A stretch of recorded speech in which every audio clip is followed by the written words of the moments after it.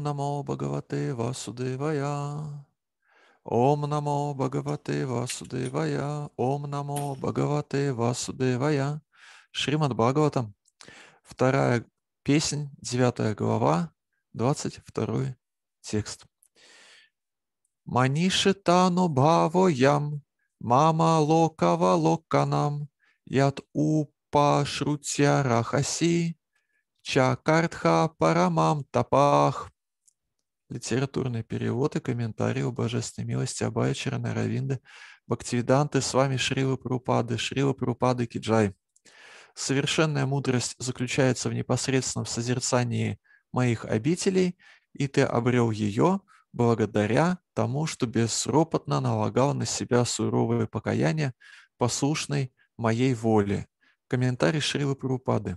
Достичь высшей ступени совершенства значит увидеть Господа воочию, что возможно только по Его милости. Достичь этого может каждый, кто старается преданно служить Господу в соответствии с указаниями авторитетных Бога откровенных писаний, признанных истинными ачарьями, духовными учителями. К примеру, Бхагавадгита – ведическое писание, авторитетность которого признают все великие ачарьи, в том числе Шанкара, Рамануджа, Мадва, Чайтанья, Вишванатха, Баладева, Сиданта Сарасвати и многие другие. В Бхагавадгите личность Бога Шри Кришна просит нас всегда помнить о Нем, всегда быть Его преданными, всегда поклоняться только Ему и почтительно склоняться перед Ним. Тот, кто делает это, непременно вернется домой к Богу, в этом не может быть никаких сомнений. В другом месте Бхагавадгиты мы находим то же самое указание – оставить все прочие занятия и без колебаний предаться Господу. Того, кто следует этому указанию, Господь сам берет под свое покровительство. Таков секрет достижения высшей ступени совершенства. Лишенный комплекса превосходства, Господь Брама неукоснительно следовал этим принципам и потому достиг высшей ступени совершенства, увидев обитель Господа и самого Господа со всеми его приближенными. Осознание безличного сияния тела Господа, равно как и осознание параматмы, еще не является высшей ступенью совершенства. В этом стихе особого внимания заслуживает слово «манишета», Каждый из нас обоснованно или необоснованно гордится своей так называемой ученостью, но Господь утверждает, что высшей мудростью обладает тот, кто постиг его обитель, постиг его и его обитель, где нет места иллюзии. Конец комментария Шрила Прупады Киджай. Om Agyana Timirandasya Gyananjana Shalaka Чакшур Унмиритам Яната Смай Шри Гураве Намаха Шри Чайтанья Манох Пиштам Стапитам Яна Бутале Свайрупа Кадама Ям Дадати Свападантикам Ванча Калпатарубяща Крипасину Бя Эвача Патитанам Паваны Био Вайшнава Био Наманмага Нама Ом Вишну Падая Кришна Приштхая Бутале Шримати Бхакти Виданта Сваминитинамине Намасте Сарасвати Деви Гоу Равани Прачарине. Нирвиши Шушунья Вади Пэшчите Дештарины Джая Шри Кришна Чайтанья Прабу Нитянанда Шри Адвайта Дадхара Шри Васти Гоура Бхактарины Харе Кришна Харе Кришна Кришна Кришна Харе Харе. Харе Рама Харе Рама Рама Рама Харе Харе. Шримад Бхагаватам 2.9.22 Манишитану Бхаву Ям, Мама Локава Локанам, Яд Упа Шрути Рахаси, Чакарха Парамам Тапах. Совершенная мудрость заключается в непосредственном созерцании моих обителей, и ты обрел ее благодаря тому, что безропотно налагал на себя суровое покаяние, послушной моей воле.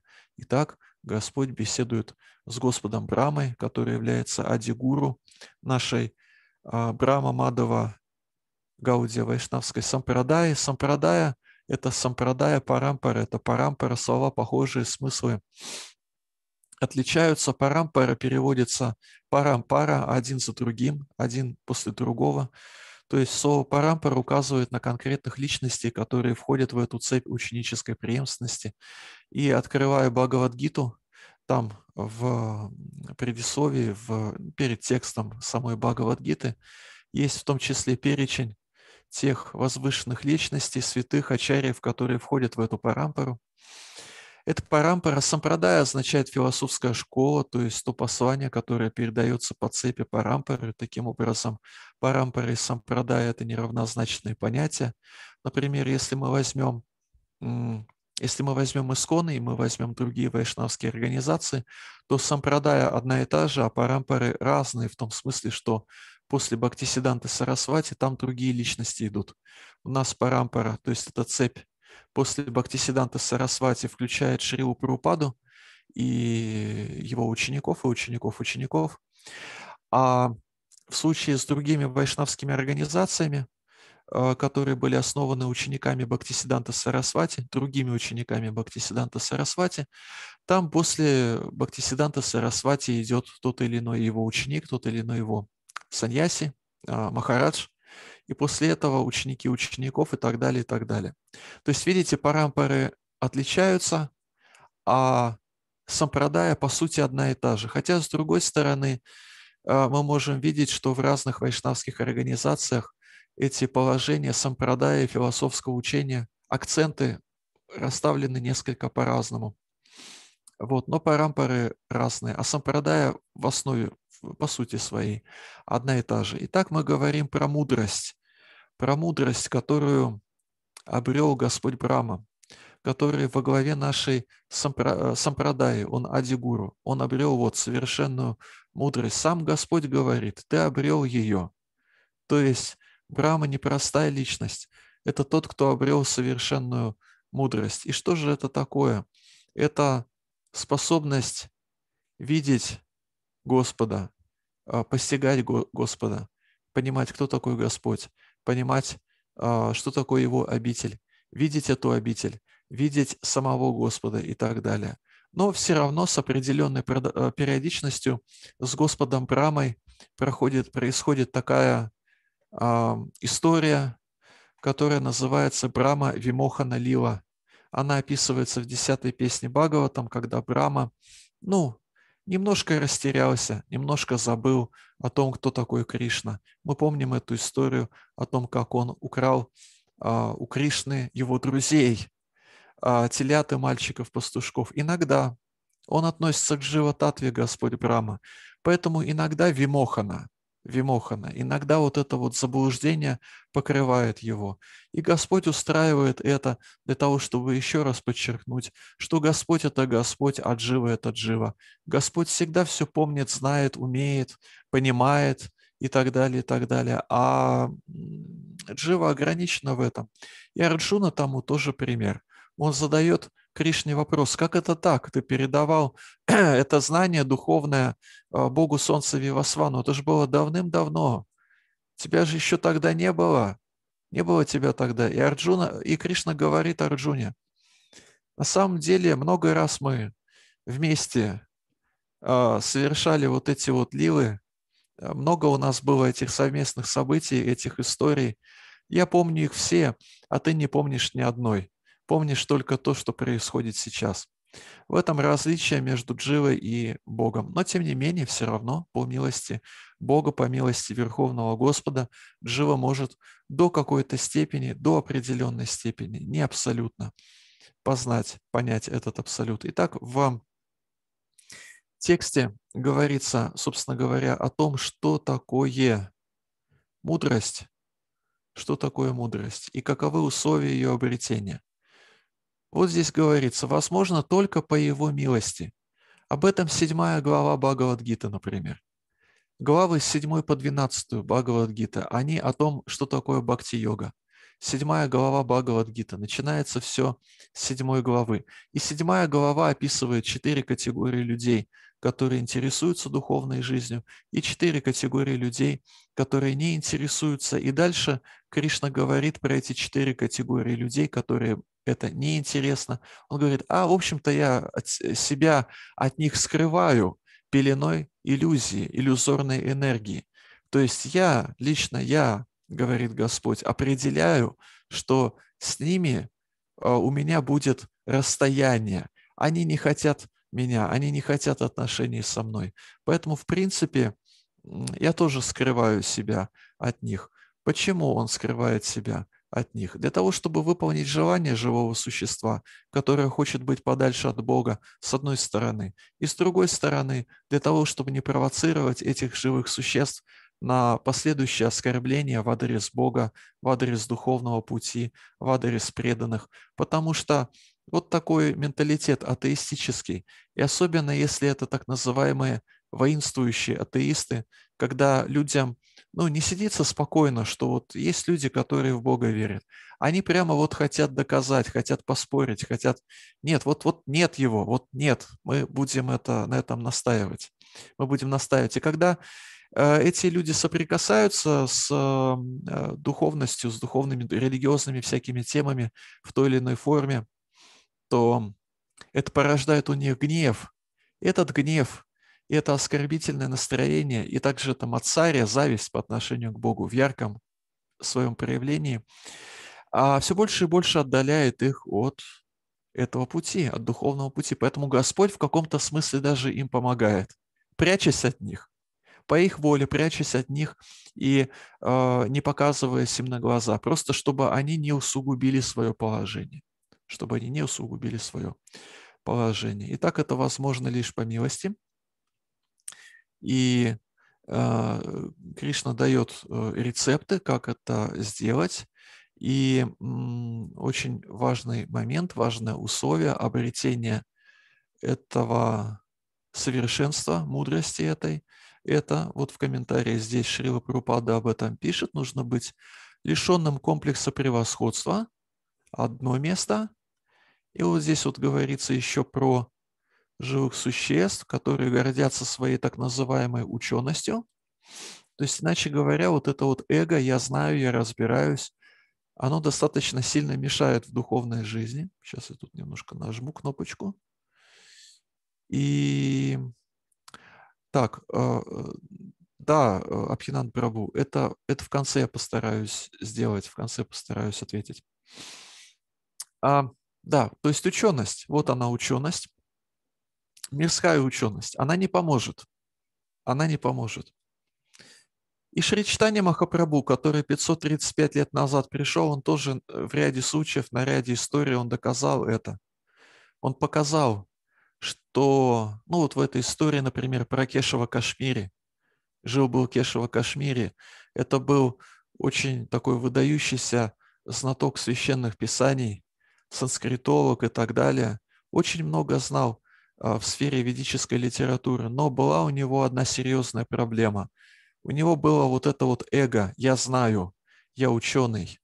А, это эго порождается сатвагуной. Сатвагуна, гуна благости, обуславливает живое существо двумя а, проявлениями сукхой и гьяной. Гьяна означает «я знаю», то есть ясность появляется относительно жизни, что к чему, и как жить, и что важно, что не важно – гьяна. И сукха. Сукха означает человек счастлив внутри, он гармоничен. И, в принципе, на основе этой гьяны и суки возникает, как правило, возникает, неизбежно возникает. Точно так же, как вот мы идем по этому духовному пути, и практически неизбежно, э, неизбежен фанатизм на какой-то стадии, как детская болезнь роста. И, конечно, чем раньше мы это преодолеем, тем лучше. Фанатизм, то есть вот это вот желание всем доказывать свою правду. И точно так же вот этот комплекс превосходства, порождаемый гуной благости, тоже в каком-то смысле неизбежен, как болезнь роста, которая заключается просто в том, что мы преисполняемся этой сатвагуны, потом мы смотрим на людей вокруг, и у нас кривятся губы, и мы думаем, губы, зубы, и мы думаем, «А, ах, вонючие корми, ах, такие сякие мясоеды и так далее по отношению к материалистам или даже по отношению к э, нашим же братьям и сестрам, преданным, которым просто в силу каких-то обстоятельств а, ну, э, меньше сатвы, просто меньше сатвы в их жизни. Э, так бывает. У кого-то ее побольше, у кого-то поменьше. Они в противоборстве находятся, эти тригуны материальной природы. Они постоянно борются. Мы не можем занять, находясь в материальном мире, какую-то стабильную точку, в которой а, могли бы находиться гарантированно, фиксированно всегда под определенной нужной нам комбинацией гун материальной природы. Это постоянно как качели, это меняется. И мы смотрим, допустим, мы так это вот вдруг стали сатвичными, стечение обстоятельств, карма хорошая, или попали в благостное место, и мы смотрим на каких-нибудь других преданных, которым не так повезло в этот момент, в данный момент времени. и чувствуем превосходство и думаем такие, о, о, я-то ого-го, а они-то ага-га. Но гуны в противоборстве. Это означает, это колесо, это чакра, карма чакра, она провернется в какой-то момент, и уже мы окажемся внизу, и кто-то будет поглядывать на нас. И... То есть гуна благости, она обуславливает, обусловливает живое существо. И один из ачарьев, то ли Баладева Видьябушина, то ли Вишванатха Чакраварти, а, объясняет, что все три гуны материальной природы отвлекают живое существо от Кришны. Комментируя 14 главу Бхагавадгиты, где описываются эти гуны, он пишет, есть три гуна материальной природы, они отвлекают. Тамагуна отвлекает таким образом, что человеку слишком плохо, чтобы думать о Кришне, пишет Ачарья. Раджагуна отвлекает таким образом, что человек слишком занят, чтобы думать о Кришне. И Сатвагуна э, отвлекает в том смысле, что, э, что слишком человеку хорошо в жизни, чтобы думать о Кришне. По факту гуны, то есть сами по себе гуны, они не сподвигают живое существо думать о Кришне. Манмана Бхава Мадбхактома от Яджи Мамнамаскуру. Они не, не, двигают, не двигают живое существо в этом направлении.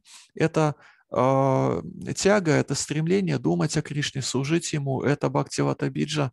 Мы ее получаем от духовного учителя. Она имеет абсолютно трансцендентную, трансцендентный источник, трансцендентное происхождение.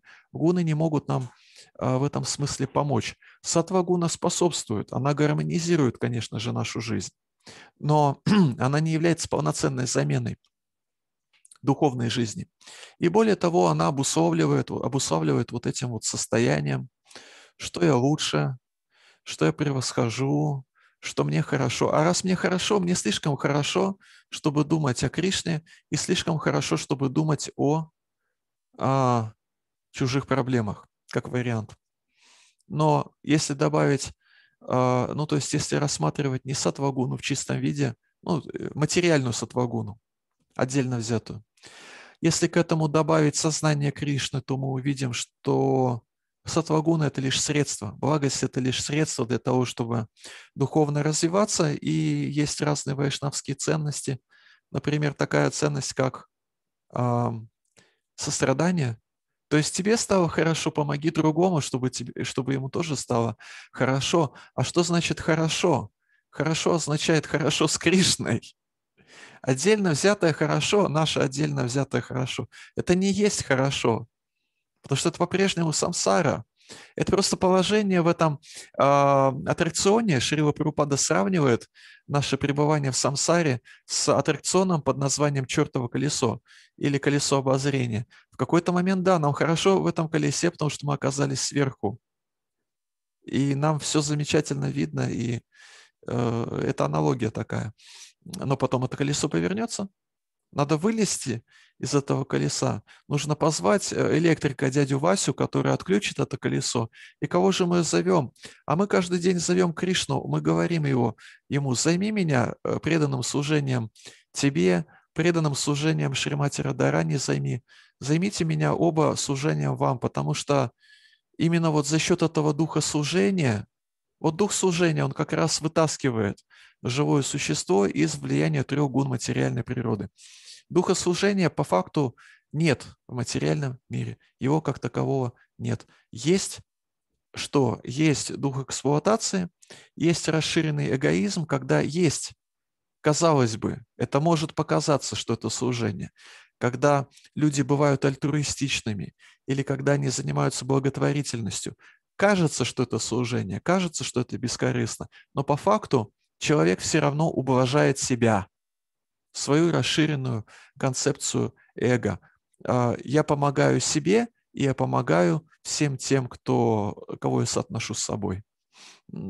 Само по себе служение как таковое, идея севы, оно, это духовная вещь.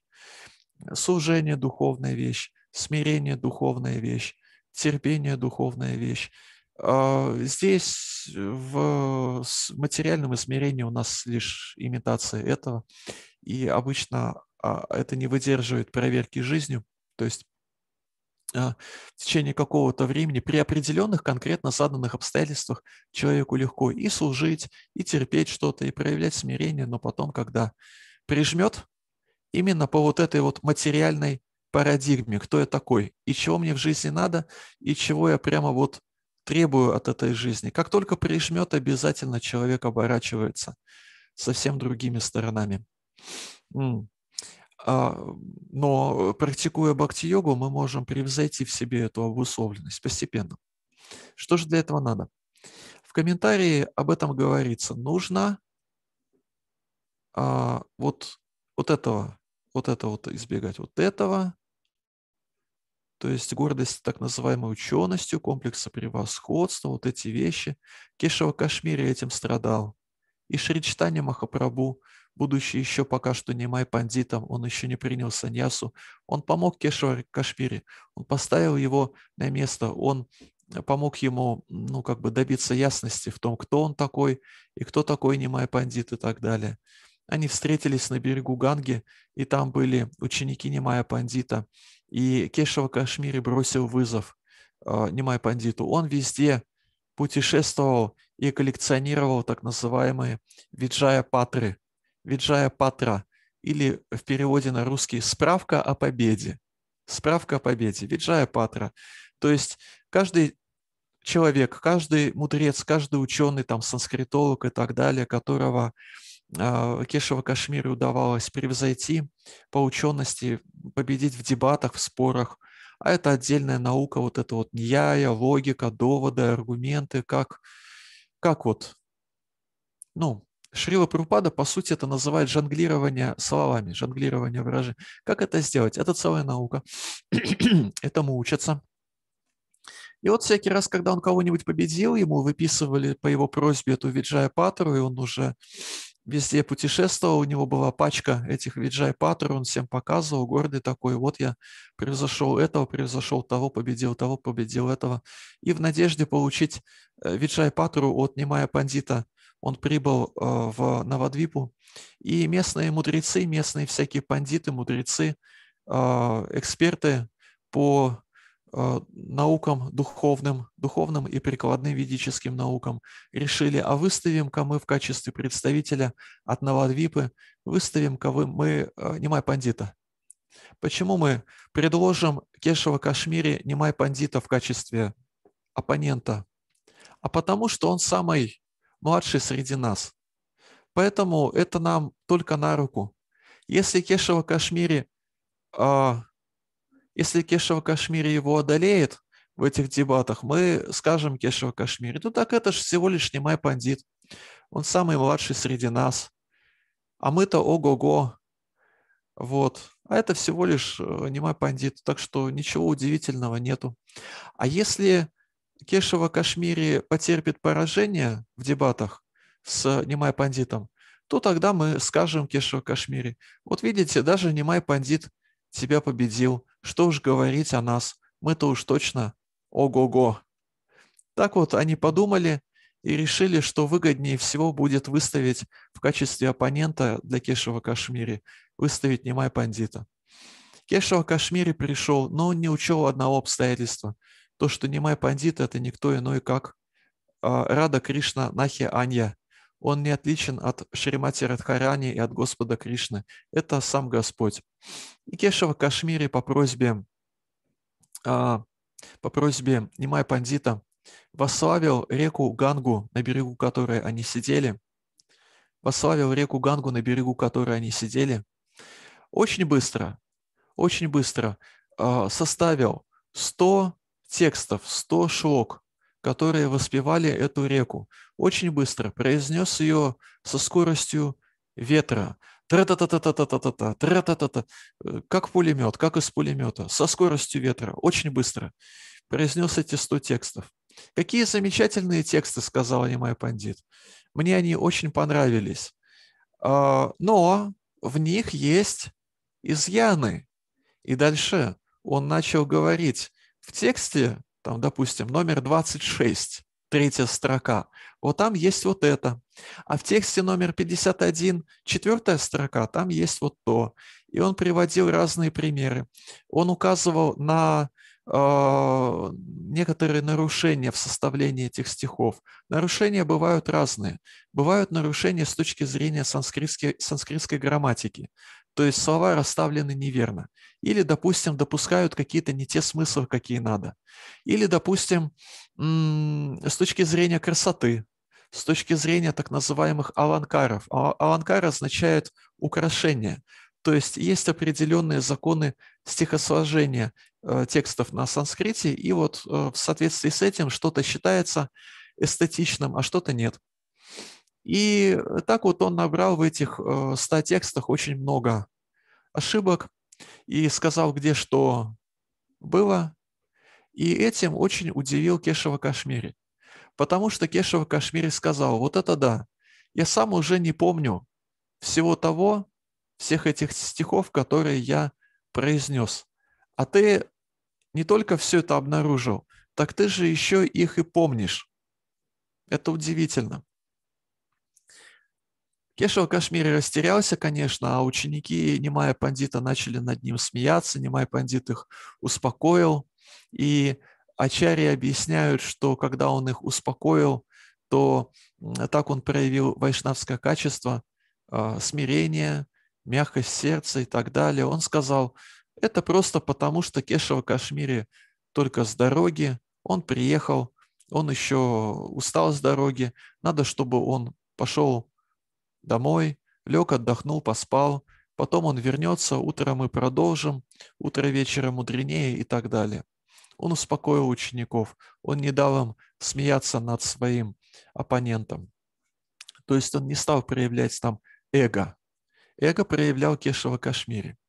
Он пришел ну, э, на, на эти дебаты вот в этом настроении, что я превосхожу, что я победитель, у меня эти виджай-патры есть, вот они, свидетельства, что я победитель, документы, которые подтверждают, что я победитель. Вот он пришел а, в этом настроении, а Шри Махапрабху, Нимай Пандит, по контрасту, по контрасту он повел себя очень смиренно, это, это то, как нам тоже стоит себя вести.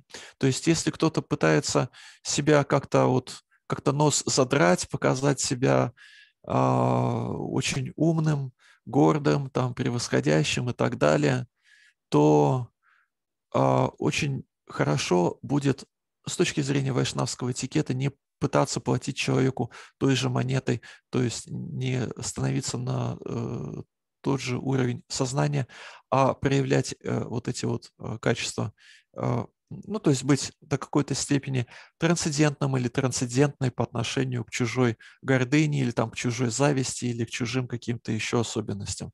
Это украшает преданного. Вайшнавский этикет – это украшение преданного. И потом он, а, Кешева Кашмири, пошел к себе домой и все думал, а чего это я проиграл? Я всегда выигрывал, а теперь я вдруг проиграл, почему так? Он не мог понять, в чем причина. Мне всегда помогала богиня учености Сарасвати, а в чем дело теперь? Неужели я лишился ее милости? Что же мне сделать, чтобы вернуть себе ее милость? И, э, и он лег спать. Сейчас я водички попью одну секунду.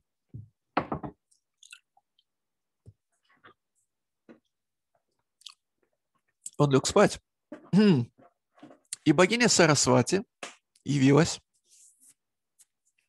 ему во сне и сказала, ну так, а как ты, что ты хочешь? Это ж муж мой сейчас к тебе пришел, спорил с тобой. Ну то есть Господь. Господь это вот муж Лакшми. Сарасвати из этой категории. А, вот, а э, это ж мой муж, как я, как я вперед мужа? Нельзя вперед мужа, Нельзя, я не могу, я, я должна ему уступить. Вот, и вообще, ну, имей в виду, что это Господь, предайся ему, предайся.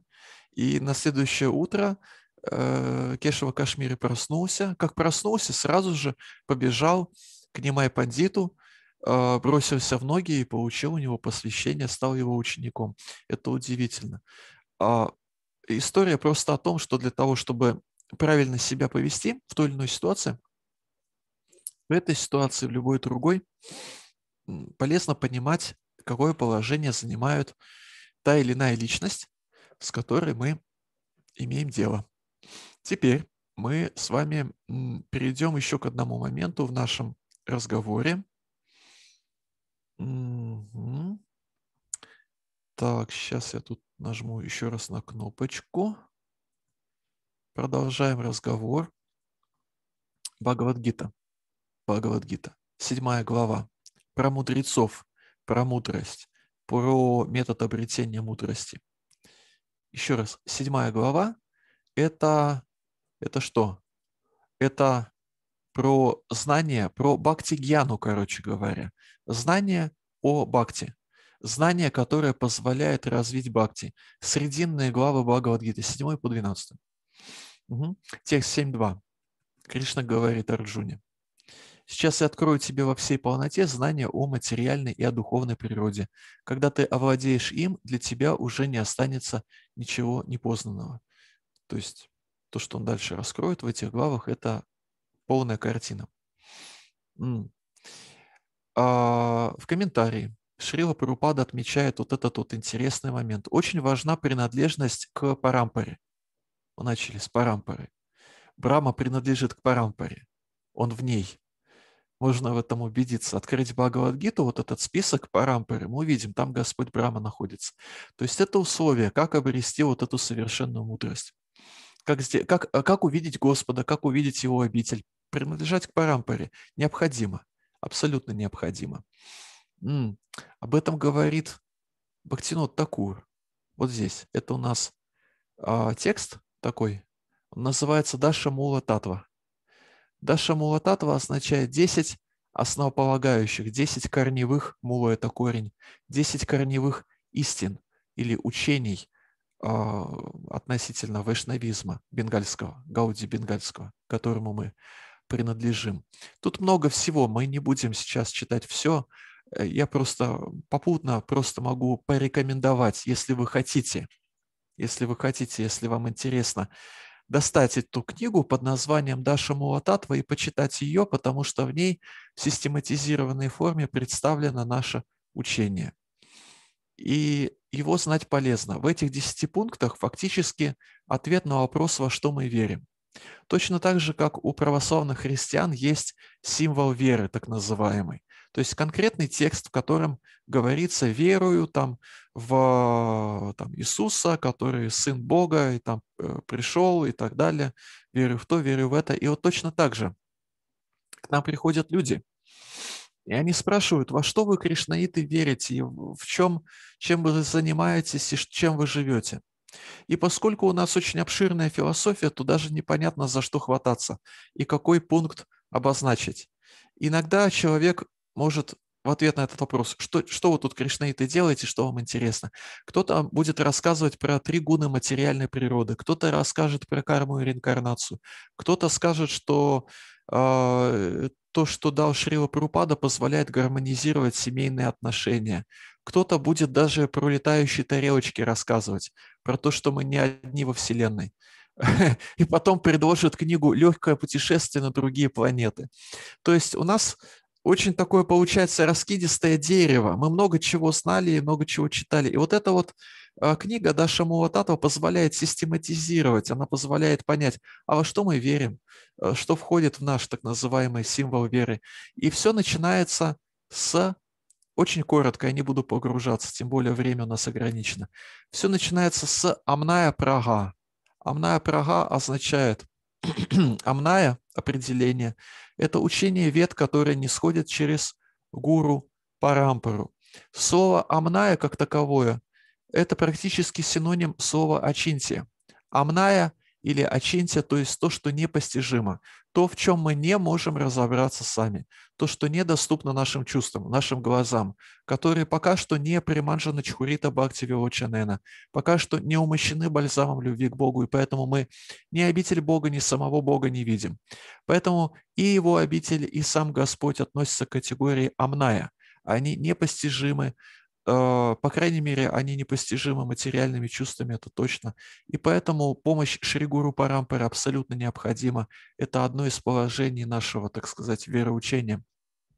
Итак, в этом тексте 7.2 Шрила Прупада подчеркивает, очень важна принадлежность к Парампаре. А, а в тексте 7.3 тоже есть интересный момент в комментарии. В тексте 7.3, опять же, про мудрецов про мудрецов. Что такое совершенная мудрость? В этом тексте говорится, что совершенство в этой мудрости реально достигают немногие. Манушья нам сахасришу, кащит ятати сидае, ята там аписиданам, кащин мам ветит атватаха. Из многих тысяч людей едва ли один стремится к совершенству, а из достигших совершенства едва ли один воистину постиг меня. То есть редко встречается вот эта вот э, совершенная мудрость. Угу.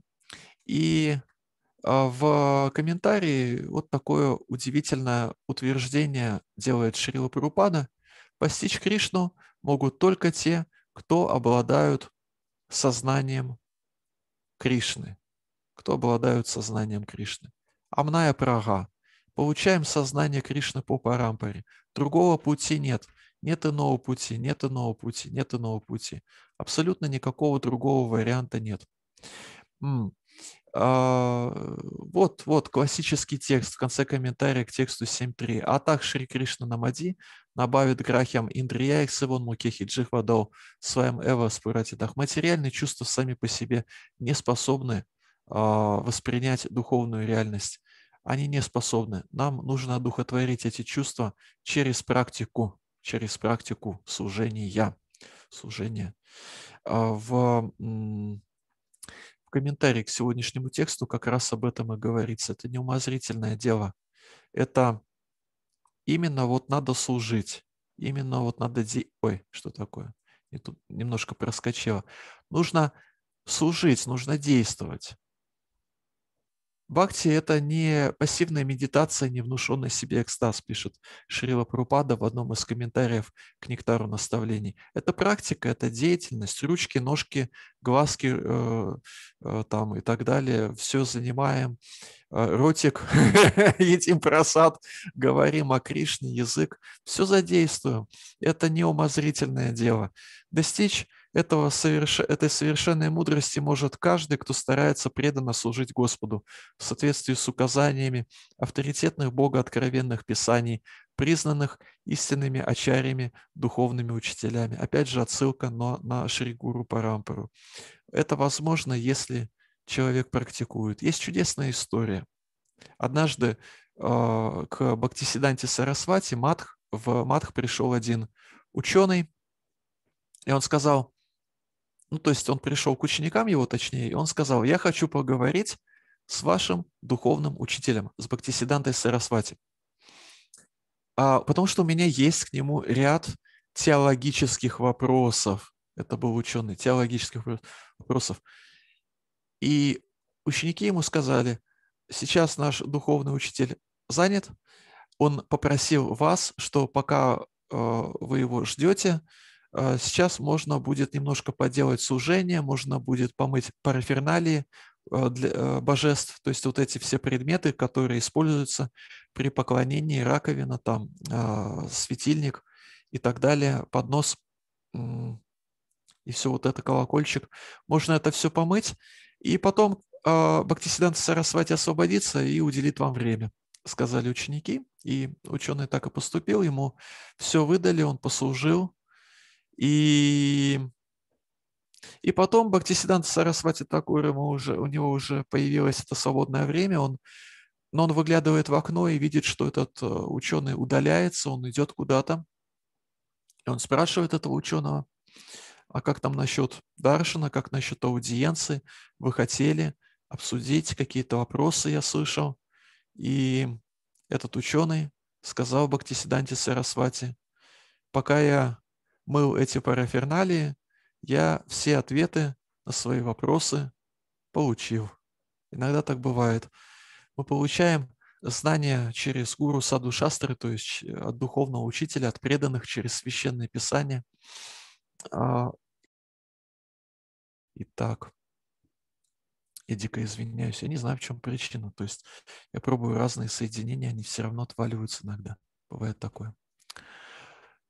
Итак, мы получаем знания от гуру, саду и шастры. Шастра – это первоочередной источник, а, самый главный источник духовного знания. Гуру следует шастре, вайшнавы тоже следуют шастре. А, то есть из этих трех шастр самое главное. И иногда бывает, что по милости Кришны, вот как в этой истории про Бхактисиданту Сарасвати и про этого ученого, иногда бывает, что из сердца что-нибудь открывается. Но чтобы мы были уверены в том, что нам открылось именно то, что надо, нам нужно перепроверить это у священных писаний, у духовного учителя, у преданных спросить преданных. Это, кстати, один из элементов вайшнавской культуры. Даже если мы в чем-то очень сильно уверены, и даже в шастрах, если читали, то очень хорошо бывает переспросить у разных преданных, которым мы доверяем, старших вайшнавов и так далее. А правильно ли я понимаю, что вот оно вот так? Что вот нужно поступить именно вот так? Это очень хороший а, очень хороший подход. Его продемонстрировал а, Махараджа Парикшит даже когда он пришел на этот берег святой реки, которая по разным источникам, то ли Ганга, то ли Емуна, а, вот, он пришел на этот берег реки, чтобы поститься и семь дней слушать Бхагаватам. Он сказал этим мудрецам, вот, у меня такое намерение. Я собираюсь поститься, я собираюсь быть на этом берегу реки. А, но а, он представил эту свою идею что он хочет быть на берегу этой реки, он представил эту идею на суд собравшихся мудрецов. То есть он не просто так вот, вот он я, пришел, мое решение окончательное. Он сказал, я думаю, там текст такой есть, я думаю, я считаю, мне кажется, по моему мнению, я думаю, я думаю, что для меня это будет благом. Для меня это будет благом подведем итог. Амная, то есть непостижимое, оно же очинте, раскрывается, если мы в парампоре и если мы занимаемся практическим преданным служением. Сам Господь Брама, Адигуру, показывает свой пример, и нам ничего не остается делать, кроме как следовать этому примеру. Но этот пример очень вдохновляющий. И, и э, э, именно сам Господь дал а, Браме и э, видение, его видение Господа и видение обители Господа, и созидательную силу также, третья, третья песня Багова, там об этом, там есть соответствующая глава, дал созидательную силу на то, чтобы Брама мог совершать это служение, которое он совершал по обустройству Вселенной. Но это предстоящая уже тема, это третья песня. Вот такова природа духовного знания, то есть парампара плюс практика служения, плюс свобода от гордыни, вот эти вещи необходимы.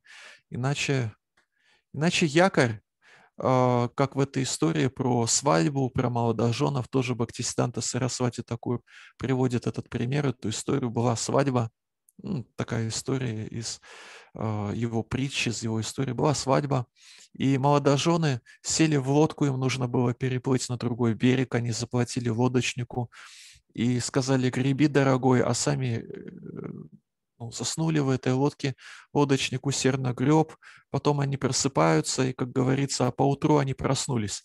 Они проснулись и смотрят, никуда они не, при, не приплыли.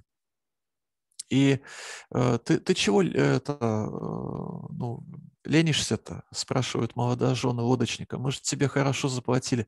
Я не ленился, я греб всю ночь, я старался, я отрабатывал, все нормально, э, оправдывается лодочник. Потом они смотрят, они не сняли, оказывается, эту лодку с якоря. И Бхактисидант Сарасвати приводит это в качестве примера. Есть кое-какие вещи, которые нас якорят в нашей материальной обусловленности. Дальше мы внешне можем практиковать, но э, при этом э, нет особого продвижения. И одно из э, э, этих условий – это когда у нас недостаточная занятость практикой, например, практическим преданным служением. Или, допустим, практика есть, но мы сильно гордимся и думаем, какие мы замечательные практиканты, какие мы замечательные практикующие. Вот это все срабатывает как якоря, которые нужно с которых нужно сниматься. Хари Кришна, спасибо за внимание. Тут вот из чата стерся вопрос ваш, Абхинанда Прабу. То есть я его не вижу, этот вопрос. Можете забросить его туда заново, и мы попробуем его обсудить, если нам позволяет время. Так, ну-ка. так. Um, угу. Хари Кришна. Так. А, ну да. Угу. А, падение дживы. Каким образом, если, бы, если мы были совершенны и обладали знанием, то как можно упасть? Как вообще можно упасть? Как это вообще такое могло произойти с нами? Такое бедствие, да? Это я вот спрашиваю, тут преданный стоит. Как, как вообще такое могло произойти? Могли бы ли вы поделиться пониманием этого вопроса духовной психологии, зависти, забвения Кришны? О, это очень глубокий вопрос. По нему, по нему много разных мнений, и некоторые люди прямо ведут ожесточенные дискуссии, как мы упали, были ли мы в духовном мире, не были мы в нем и так далее. Ну, а, то, что я слышал, идея заключается в том, что мы находимся здесь, в материальном мире, для того, чтобы получить experience, получить опыт. То есть тот опыт, которого нам не хватило в э, духовном мире, где крутится все вокруг Кришны. И первопричиной нашего попадания в материальный мир является, собственно говоря, этот интерес. А вот как вот оно вообще, если все будет вращаться вокруг меня, а не вокруг него? И, собственно, почему вокруг него? Почему не вокруг меня? М. То есть, да, дух служения имеется, но в какой-то момент э, живое существо отвлекается от этого, и ему хочется попытаться понять, как это, попробовать. И Господь, э, значит, э, дает нам эту возможность. Кто-то Понимаете, кто-то лезет пальцами в розетку, кто-то не лезет, кто-то лезет в трансформаторные будки, кто-то не лезет. Э, кому-то достаточно просто услышать, что вот э, не лезть в трансформаторную будку, а кому-то надо прямо вот залезть в нее, чтобы прочувствовать это на собственной шкуре. Вот, очень глубокая тема. Но Шрила Прупада говорил, э, что самое важное – это выбраться. Он приводил в качестве примера муху. Он сравнивал нас с мухами. Муха залетела в комнату, неважно, в какое окно оно э, залетело в этой комнате, важно, чтобы она вылетела из комнаты, и нужно для этого показать э, на окно этой мухи, куда лететь. И Шрила Прупада прибыл в этот мир, э, на нашу планету и на Запад, в частности, для того, чтобы показать нам, где это окно. Он сказал, я знаю, где этот ход держитесь за мою тхоти, я знаю, где дорога, я покажу вам, куда идти. И мы пытаемся следовать Хари Кришна. Вот, ну, не так уж прямо глубоко удалось мне ответить на этот вопрос, но вот я просто что мог сказать, то я сказал. Есть ли какие-нибудь вопросы? Хари Кришна. Хари Спасибо Кришна. большое, Мадава Мурари Прабhu. Э, за лекцию, за ваше подключение. А, я бы хотела просто уточнить вот тот вопрос, который мы сейчас обсуждали. А, мы понимаем, что находясь в духовном мире, Джива обладает а, качествами и полным качествами блаженства и полного знания. И вот вопрос-то у меня возник. Обладая полным знанием о духовной природе и Дживы, и Верховного Господа, почему Джива начинает а, испытывать зависть, желание проверить, э, как она будет себя на месте Верховного Господа чувствовать, или раз, ну, тем самым раз отождествляя себя с Верховным Господом. Почему? Есть знания, но начинает э, э, завидовать. Как можно завидовать тому, кто обладает всем? кто-то, вот э, откуда берется знание, что сказали нельзя лезть, э, тыкать пальцем в розетку, не тычет, да, Вот, но если есть знание, значит, не надо этого делать. Вот почему, обладая знанием, духовным знанием, все равно Джива начинает желать э, оказаться на месте Кришны. Вот в чем вот, вопрос был. Вот, да, да, да. Вот этот вопрос нам нужно задать себе самим. Чего это, чего это меня угораздило-то? Зачем я, зачем я этого захотел? Это в первую очередь... То есть он не отвлеченно, он не, не в третьем лице, там, живое существо, какое-то живое существо. А, в книгах Шрилы Прупады про нас написано, вот там все пишется в третьем лице. Вот там живое существо, оно мучается, страдает. Это в первом, а не в третьем лице. Да, надо себе задать этот вопрос. А, чего это вдруг оно так возникло? А, ну, ну да, живое существо знает, что оно вечно исполнено там знания и блаженства. Вот захотелось, видимо, как-то попробовать. А как будет, если э, побыть в пространстве Асад, Ачит и Нирананды, понимаете, в противоположности? Этого опыта нету в духовном мире, понимаете? Потянуло, ну потянуло, и, а Господь, Он же выполняет с незапамятных времен желания всех живых существ. Понимаете? Он выполняет желания живых существ, независимо от того, как, где оно находится, в духовном мире, в материальном.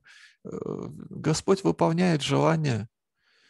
Вот. Э, иногда преданные говорят, я что-то в Кришну, в Кришне разуверился, он мои желания в последнее время что-то как-то не выполняет, но он самое главное это желание выполнил. Тогда, в прошлом, мы захотели в материальный мир попасть, он же нас сюда это отправил, Самое главное желание наше выполнил. Вот оно. В основе это своей. Воля-то наша, она, э, ну, как бы э, осуществлена, осуществилась, понимаете? Теперь, ну, это имеет определенные издержки, конечно, пребывания в материальном мире, 8 миллионов 400 тысяч форм жизни и так далее, и так далее, тригуны, и вот оно все, все так взаимодействует и вызывает разные чувства. То нравится, то, то грустим, то веселимся. А приходит э, Шрила Прупада, приходит гуру и говорит, давайте это, вылезайте из этой песочницы. Есть дела по, по те, которые соответствуют э, вашему реальному изначальному положению. Э, есть Кришна, а вы вот, оказывается, его, служите ему, понимаете? Вот такие дела.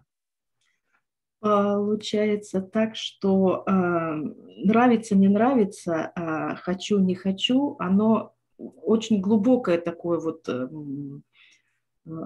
желание или вот понимание, что даже в, находясь в, в духовном мире, мы все равно испытываем вот эту вот двойственность. Получается так, наверное, да? Оно не получается так, потому что двойственности там нет.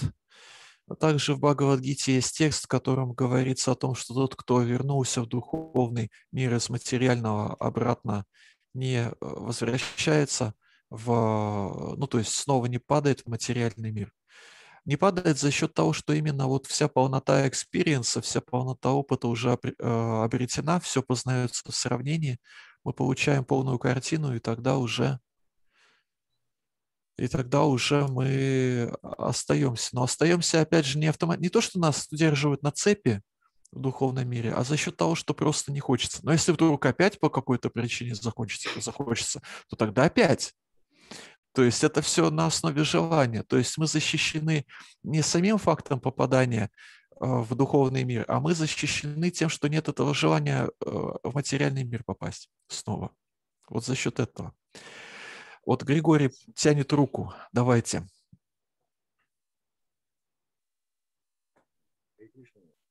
Хари Кришна Григорий. Nice to see you. Вот в чем вопрос. Вы в начале лекции, когда прочитали комментарий Шрила Прабхупады, упоминали высказывание Господа в когда Арджуна, ну, тоже вот забвение, памяти нет что он помнит все наши воплощения. Вот то, что исход массовый такой, да, бесчисленное количество живых существ, бесчисленное количество материальных вселенных, от одноглавого Брамы, четырехглавого, миллиардглавого Брамы, это же просто невообразимо. Вот. То есть просто представьте объем суицида, происходящего. Знаете, я, честно говоря, как-то вот мне пришла в голову, я прокомментировал, а сейчас на меня такой прямо ужас обрушился. Mm-hmm. И самое интересное, что обычные люди, ну, лично я считаю, конечно, это мой материальный опыт, я не, помню, не помню своих прошлой жизни, может быть, и как когда-то происходит, там, дежавю, что-то uh-huh. подобное. Но опираясь, опять же, на нынешний свой опыт, я как бы пришел к одному единственному выводу. Значит, а, не извлекая уроков из прошлого, нечего рассчитывать на настоящее, потому что ты не будет будущего. Здорово. То есть прошлое забыто, но должно быть помнито. Угу. Будущее закрыто, но настоящее даровано. Угу. Поэтому оно и зовется настоящим. То есть, проживая прошлое, нельзя, как бы нельзя ничего изменить, мы делаем что-то в настоящем, чтобы рассчитывать на какое-то будущее. Это материальная концепция, это прекрасно понимаю. Но, опять же, дело в том, что настоящее дается настоящим, отсюда идет наше прошлое, соответственно, как бы входящие кармы и туда-сюда, и то, ну, все мы там строим. И то, что сейчас мы пытаемся воспевать святые имена, при этом служить Верховной Божественной Личности, все равно из этого проистекает замкнутый круг. То почему я не могу? А, вопрос в чем получается? Если я, опираясь на прошлое, да, живу как бы настоящим, то есть пытаюсь следовать,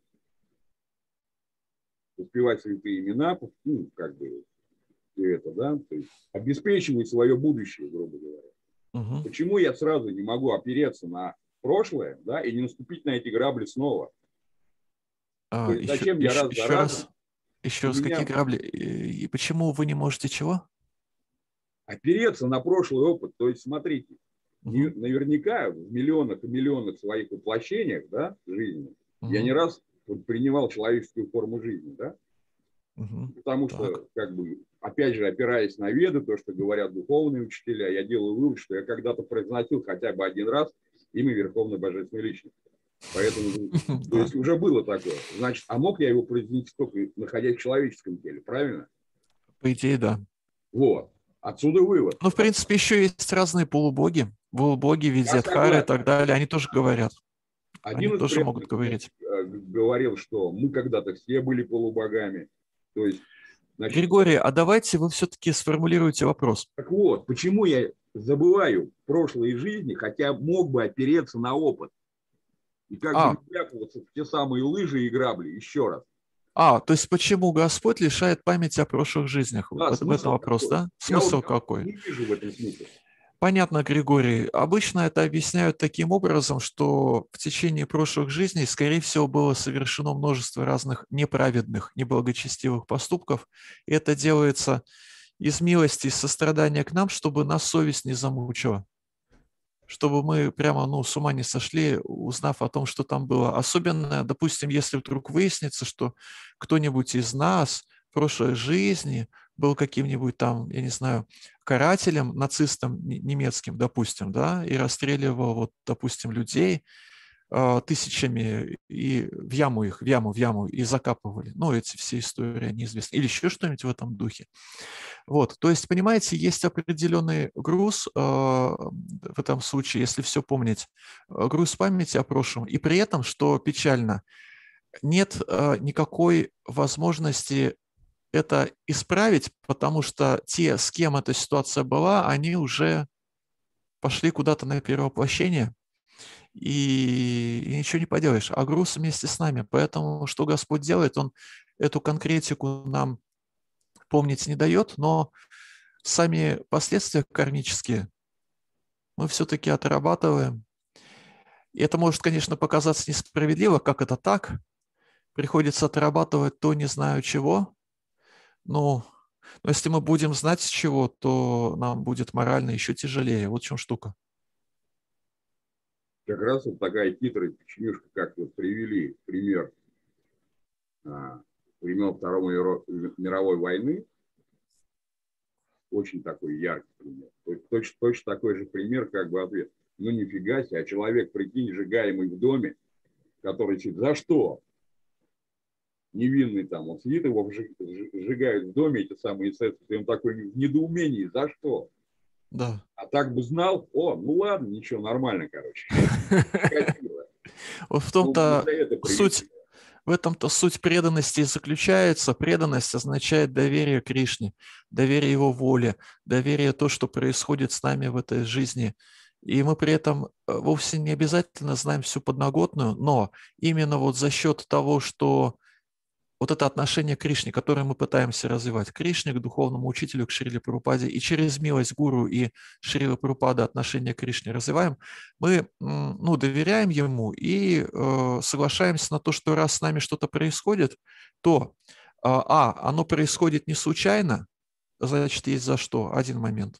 Э, то есть готовность принять, готовность принять э, происходящее возникает. А, вот. Ну и второе, если мы на пути преданности, если мы повторяем Хари Кришна и так далее, то а, в нашей жизни ситуации те же, ту же самую карму Кришна использует, то есть наши ситуации из того, что мы просто должны были бы претерпеть, просто, просто механизм кармы, который безличен по отношению к а, тем, кто в нем вращается. Заслужил – получи, заслужил – получи, и все, достаточно безлично.